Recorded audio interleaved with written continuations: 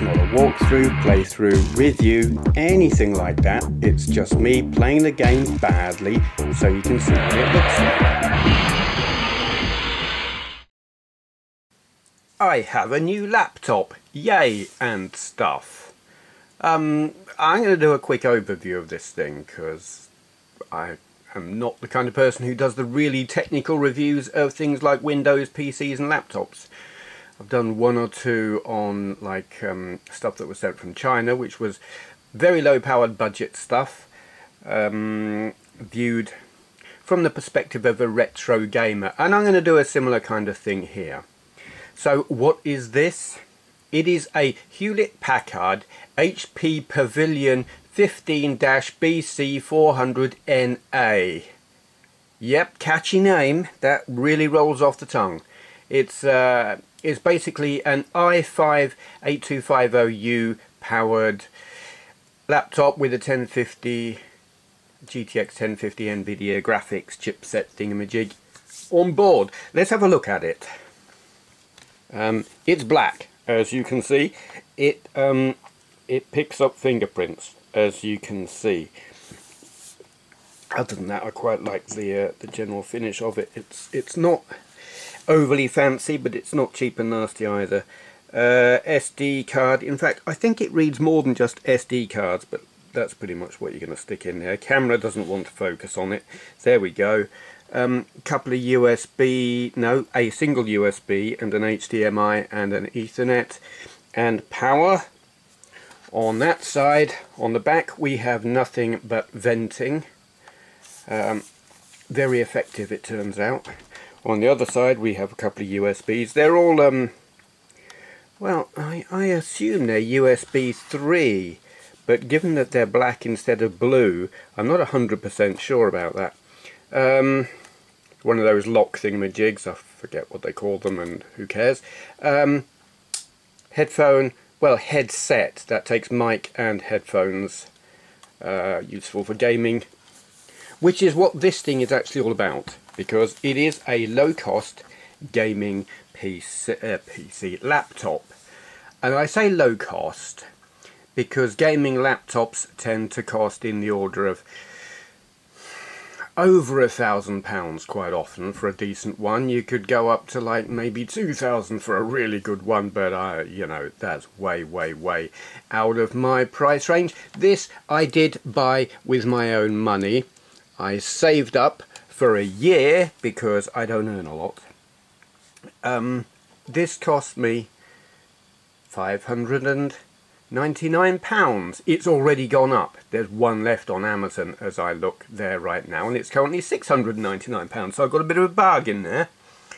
Um, what can I tell you about it in terms of specs? As I've said, it's got the Intel i5 8250U or 0U 8 gigabytes of RAM, 1 terabyte hard drive, NVIDIA GeForce GTX 1050 graphics card with 2 gigabytes of dedicated RAM, Windows 10 Home. Um, there was another laptop on Amazon that I was looking at which was very similar to this and I'm not sure if I can find it now it was uh, called a HP Pavilion Power. And it was very similar to this except it had a different um, CPU and it had a uh, what you call it? It had a, a solid state hard drive.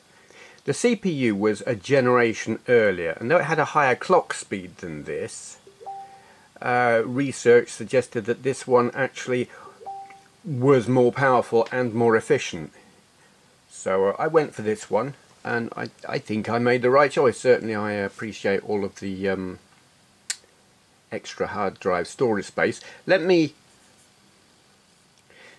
Don't watch for a moment, I'm going to put in my password. There, look at the ceiling. There you are, you can see it again now. Password is in.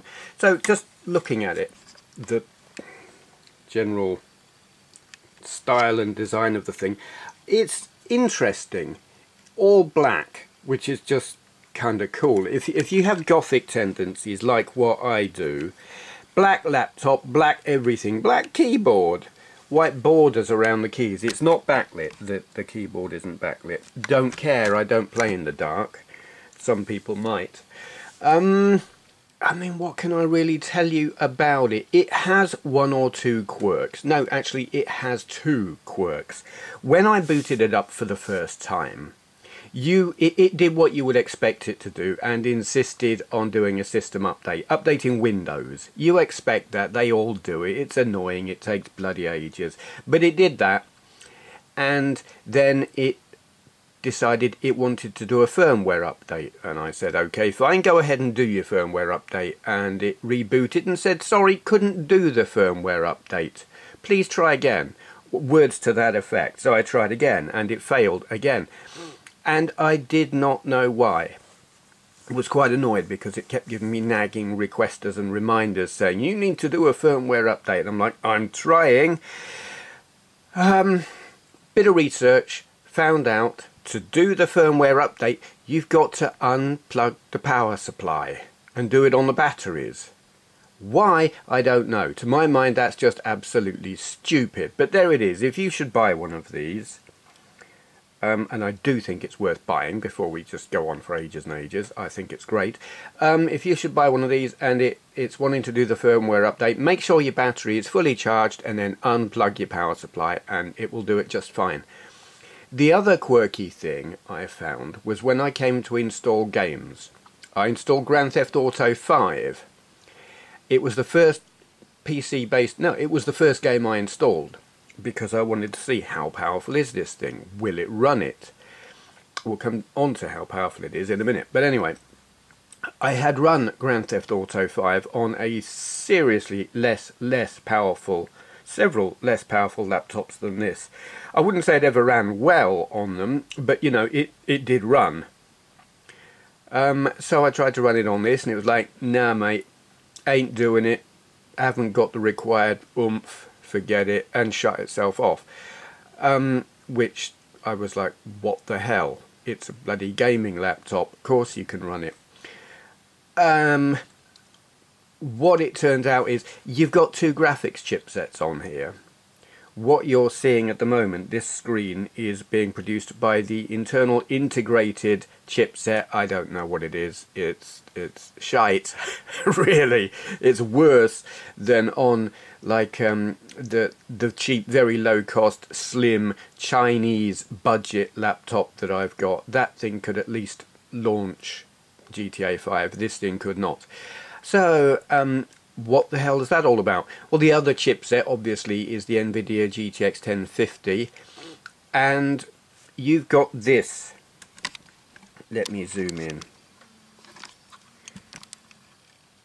That, oh, zooming in, great, yeah. That there, which you can't see because it's all blurred, that is the NVIDIA control panel which you launch and you tell it what programs will use what chipset.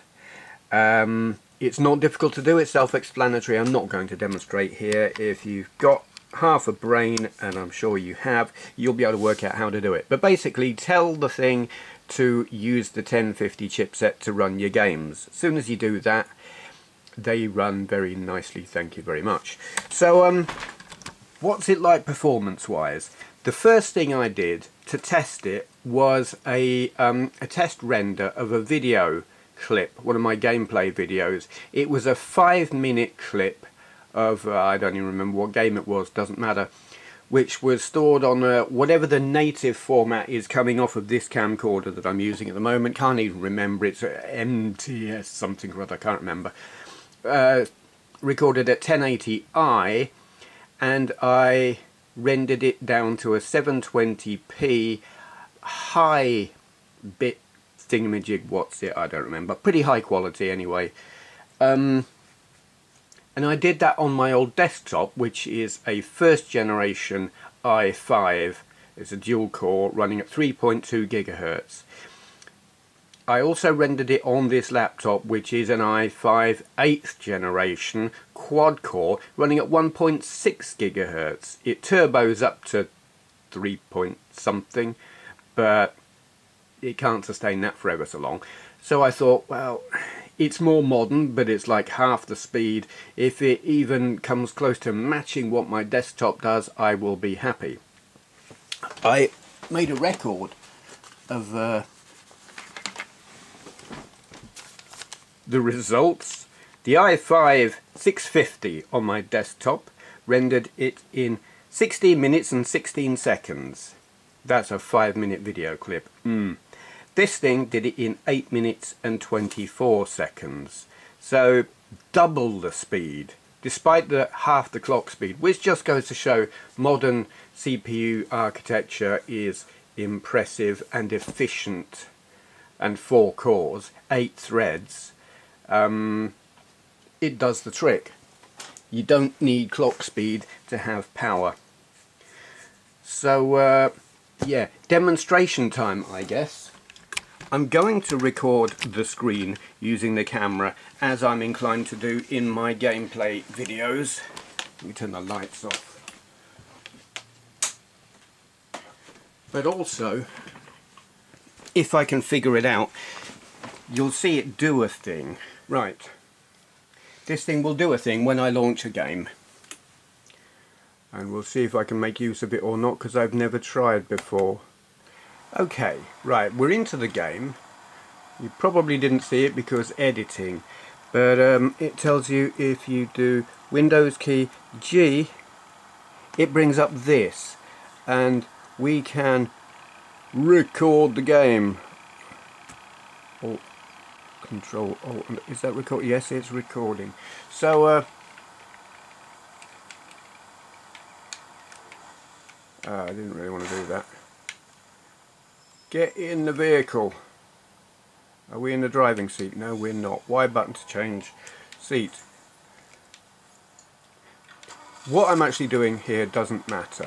Oops, okay. That's also not... Oh, you bird. We want to go, please. I think we're stuck. Oh, oh God. There we go. Oh, okay. Forgetting the controls completely. Anyway, this this is Crysis, running maximum settings in terms of shaders and anti-aliasing and blah blah blah. Um, oh, let's just shoot him. But also with like screen capture going on, which is cool. Um, oh dear, oh dear, I didn't want to do that. Yeah, but great refresh rate. I don't know how to get an outside view. But we're not doing this to... to Let's just get out of the car.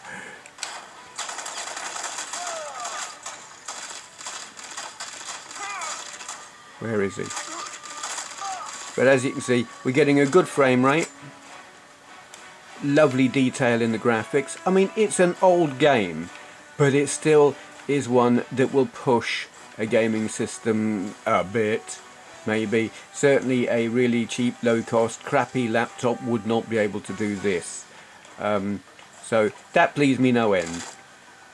I wanted to play this on a decent system, have wanted to for like over a decade. It just shows how old the game is really. I mean, how long has this been out? Ages. Um, yeah, so I'm probably going to combine the footage from the camera with the footage that it's recording Okay, so here we are in Grand Theft Auto 5. Let's let's do that. Let's bring that up.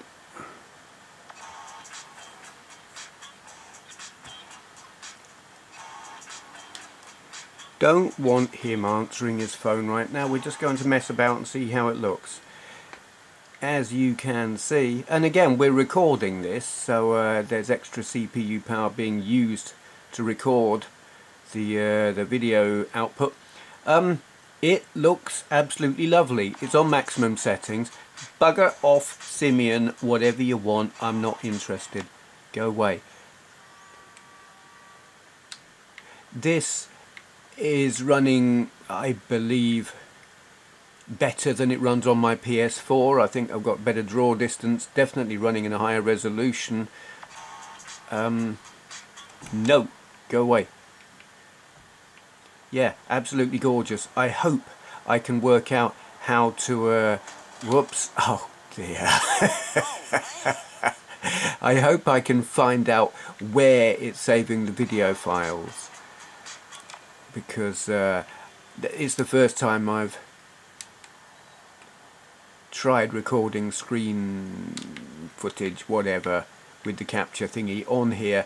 It also it broadcasts which suggests I can use this for streaming though the Wi-Fi where I'm currently living is not capable of that. But you know at some point in the future you never know. I've got to figure out how to do that and hopefully find out how to I would have liked it if it could capture the webcam at the same time as capturing the on-screen action but I know there are programs that will do that and I will maybe investigate those what's it called OBS or something OSB old son of a whatever um yeah so Grand Theft, Grand Theft Auto 5 runs absolutely bloody gorgeous.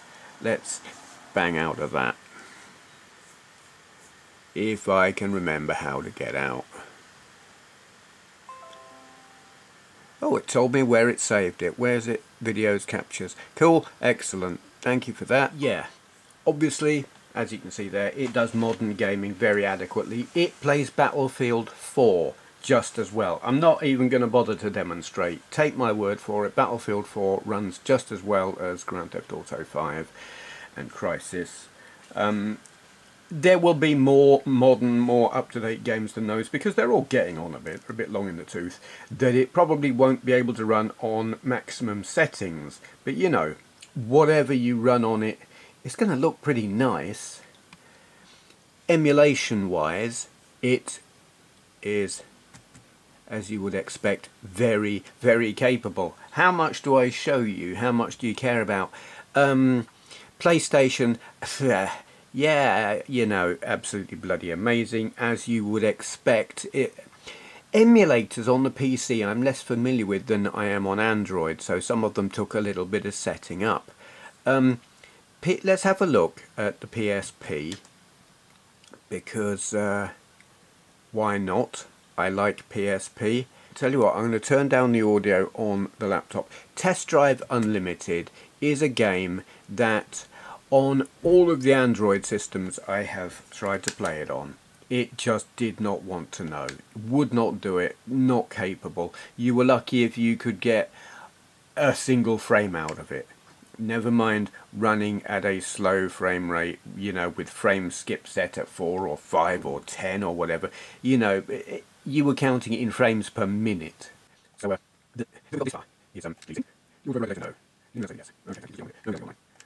Don't care about intro. You see, the frame rate is not great on this. The resolution is not high on this.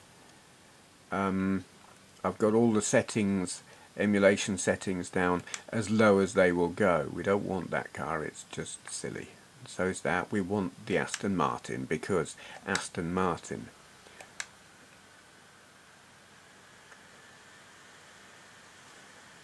Come on now. Let's let's just be going, eh? Sound does work. I have turned the volume down because this is playing music and I haven't worked out how to make it have sound without playing music because I haven't spent more than a few minutes investigating that aspect. I've just been trying to make it run. So here, here we are. It, it's ugly as sin, but it runs. Um, that may not seem impressive to you, but the fact that it runs at all when I've never been able to get it to run on anything else pleases me a lot. Um, let's show you something that does run significantly better. I'm not doing the direct capture for this but uh, you can see how utterly gorgeous this runs. I've got the um, whoops, yeah, just run straight into the mine Steve because you're a doofus um, increased re render resolution and everything. So it's it's running better than it would run on an actual PSP significantly. Um, it's gorgeous. Oops. And that's me just getting it wrong because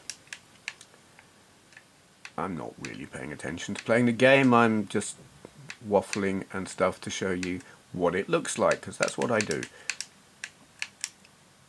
So there you are. Gran Turismo also looks bloody gorgeous. So that's PSP. It runs gloriously. There will still be some games that don't run particularly well. I haven't tried God of War. I know that's meant to be a difficult one. Saturn emulation runs very well when your emulator isn't an arse. But it is currently being an arse, so I can't show you that. Um, okay. There we go. Sound is off just because I've got the volume down for you know copyright and stuff. But um, it's all about how smoothly does it run. You'll be able to see that here. I've got everything turned up to the max and it goes. Very nicely indeed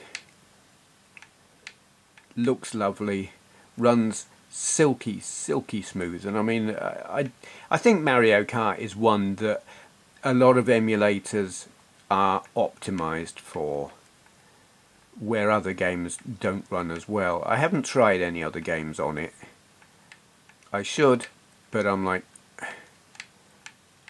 don't care. I'm not a fan of the N64, but I do love Mario Kart. So it's like, if this runs, I'm happy and it runs beautifully. You would expect it to, but I'm just demonstrating the fact. Next, Dreamcast, because we're kind of going up in terms of what does it run well and what does it not. Um, what one should we look at? What one doesn't take too long to get into? Let's just do Daytona. I won't get into the gameplay, I'm just going to let it run in, in demo mode because it's pretty enough. There. Absolutely bloody gorgeous. Um, silky smooth. Nice, I don't know what resolution that's at compared to the native Dreamcast resolution, but it looks lovely. It, it, you know, it works.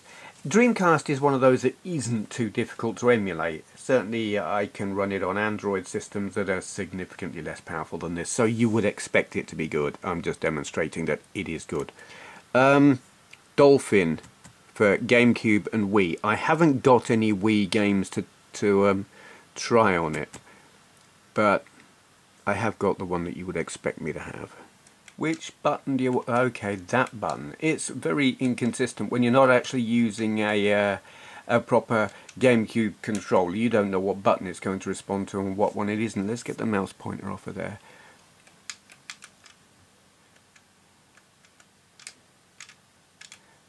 Don't know what button.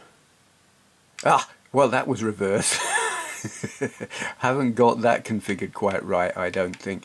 But as you can see um, gorgeous GameCube. It will emulate very nicely certainly this game. How do I fire? That's how I fire that. Okay cool. Um, I know there are other games that are not as easy to emulate. I've, I've tried the Star Wars one on it. Um, Rogue Leader something like that. Rogue Squadron Rogue something. Um, and On an oh no it wasn't on an Android system. It was on um, it was a far less capable Windows system. And that just didn't want to know. I don't know if it will run on here or not. I haven't currently got the ISO and Nintendo being what they are Nintendo ISOs are now currently not nearly so easy to come across. Um, so yeah can't tell you Anyway, that's GameCube. Certainly, do what? Oh, come on. It plays Double Dash very nicely indeed. Um, and then the one that I'm most excited about. You can boot your games sort of like have a speedy boot up rather than using the full emulating the full disk drive sort of activity, it will load it faster, which is great. This is PS2 on PCXE2 something, whatever it's called, I don't remember. Okay, I've tinkered with my settings and here we are now with Gran Turismo 4 running. Um, okay. Difficult to play without the sound because I can't hear the um, the engine to know when to change gear. But yes, it it's running now at double PS2 screen resolution and still looks very nice. It was nicer at three times resolution, but whatever. Um, little bit of uh, pausing there with the system doing other things probably would help if I was there that's a bit better it's lovely. It impresses the hell out of me. Uh, certainly I've never been able to emulate the PS2 on any other computer I've ever owned. I know some some proper high-powered gaming computers will emulate the PS3 I know have no way of testing if this particular laptop will run PS3 because I don't have a Blu-ray drive and there's no way I'm even going to attempt to download an ISO from a Blu-ray because bloody humongous. Uh, never mind whether I'd actually be able to find one or not, I'm just not going there. So PS2 is going to be the limit of my emulation on this system, but I just wanted to show you this to demonstrate that it works. Um, and it works very nicely and I'm very happy about that. I probably ought to try capturing it direct from the screen but I've just had so much bother trying to get it all running that oh alright then you twisted me arm. Come on now, give me the...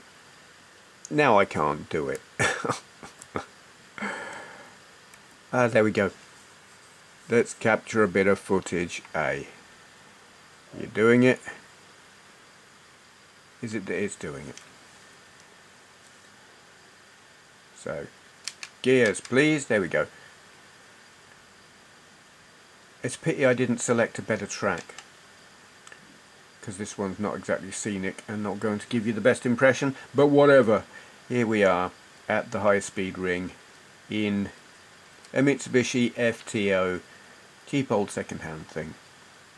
It's kind of interesting to see how while the 3D stuff is rendered at a higher resolution check out those numbers underneath the mirror and see how chunky and pixelated they are because the, the bitmap stuff it doesn't alter the resolution of those because it can't.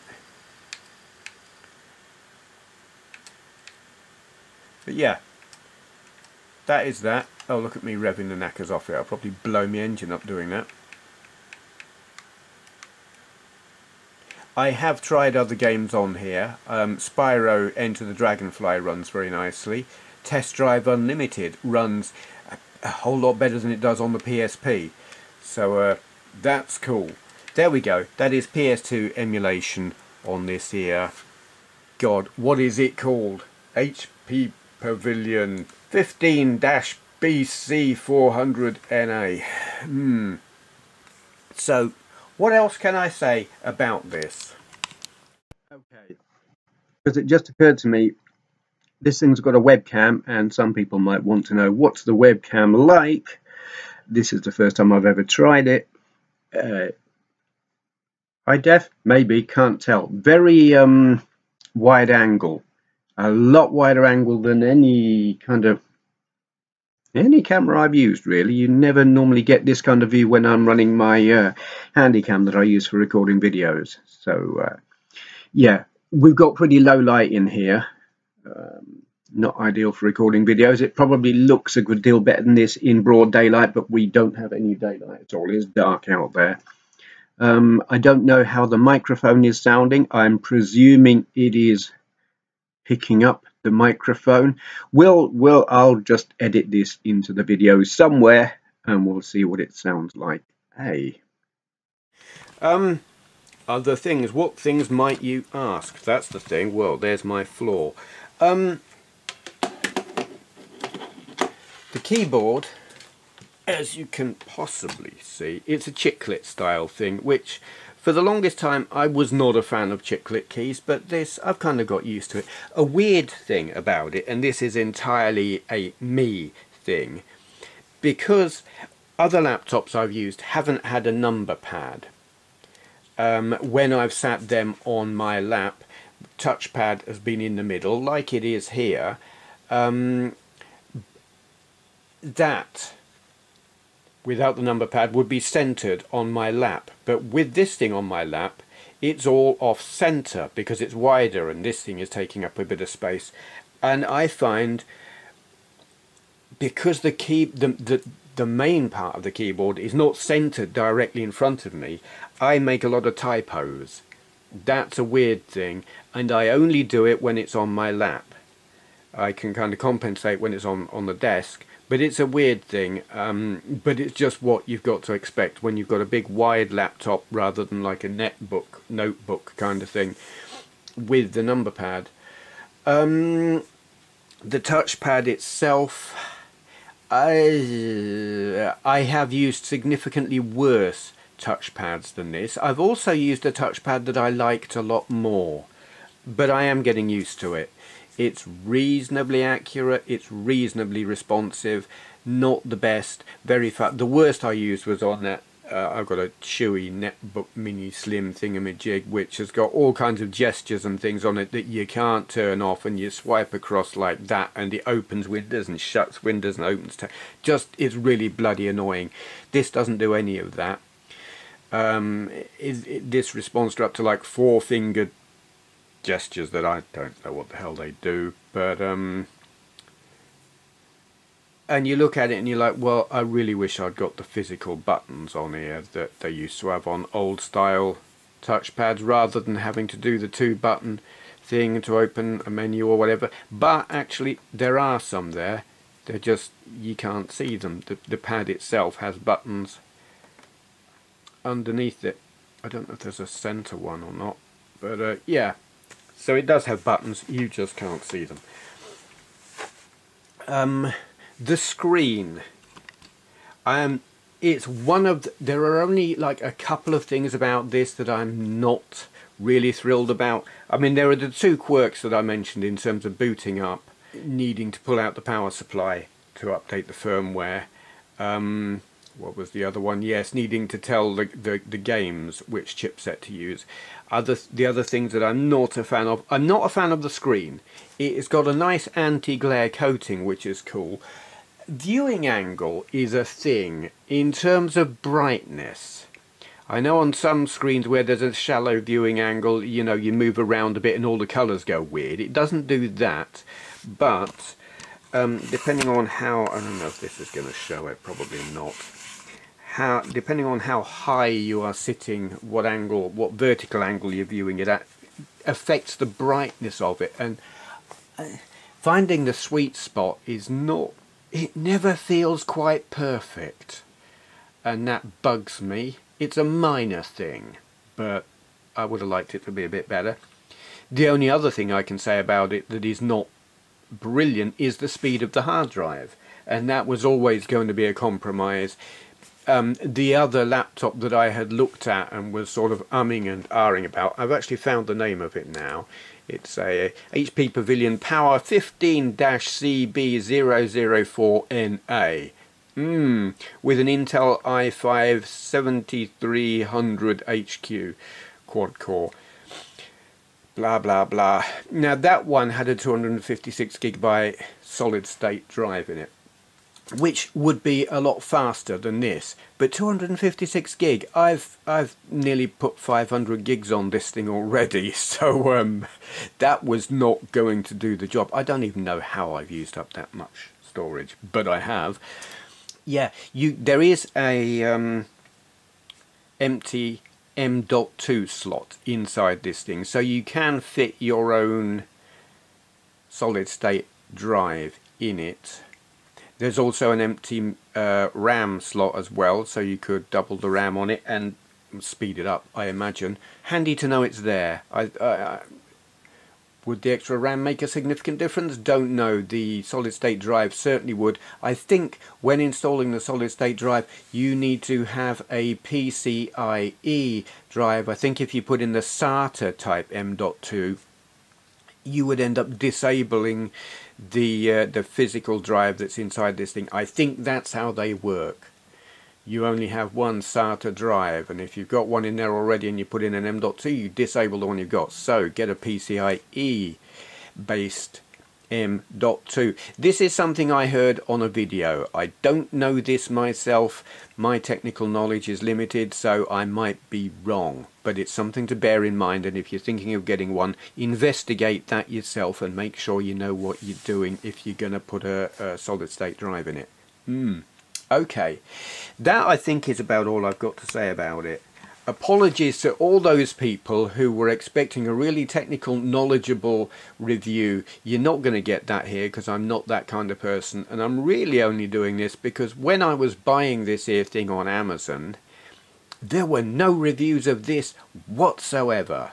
At all, anywhere, except the one on Amazon, which was very limited.